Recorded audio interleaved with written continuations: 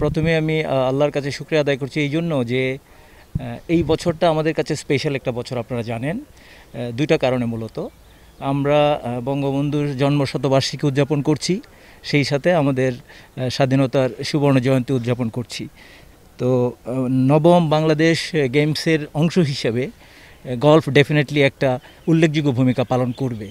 আপনি যে প্রসঙ্গটা বলার চেষ্টা করছেন যে, অবশ্যই গল্ফ এমন একটা খেলা যেখানে আপনি যদি গল্ফ মাঠের দিকে তাকান গল্ফ যে সিনিক বিউটি এর মধ্যে প্লেয়াররা এসে যে কিছুটা সময় কাটাবে, অবশ্যই আমরা এটা করোনা প্রোটোকল মেনটেন করেই এখানে আসতে দিচ্ছি বা তারা অংশগ্রহণ করবে। তো সেইখানে তাদের যে মানসিক বৃদ্ধি, তাদের যে মন মানসিকতার বিকাশের যে প্রচেষ্টা, সেটা অনেক অনেক বেশি গুণ বাড়বে এই খেলায় অংশগ্রহণের মাধ্যমে। আর আপনি জেনে আরও খুশি হবেন যে, আমাদের এই টুর্নামেন্টে স্বতঃস্ফূর্তভাবে বিভিন্ন ক্লাবের, বিভিন্ন আদার অর্গানাইজেশনের বারোটি বারোটি টিম অংশগ্রহণ করছে এবং সেইখানে যথেষ্ট একটা কম্পিটিটিভ মনোভাব আমরা লক্ষ্য করছি।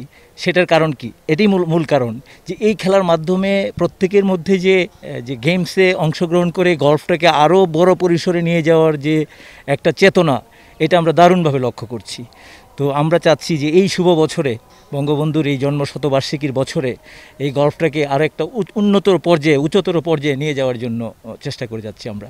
এবং ফেডারেশনের পক্ষ থেকে আমাদেরকে এই কেজিসির পক্ষ থেকে ইভেন আমাদেরকে যে দায়িত্বটা দেওয়া হয়েছে এটা পরিচালনা করার জন্য, আমরা চেষ্টা করছি এটাকে যেন স্বতঃস্ফূর্তভাবে এবং শতভাগ সফলতার সাথে শেষ করতে পারি।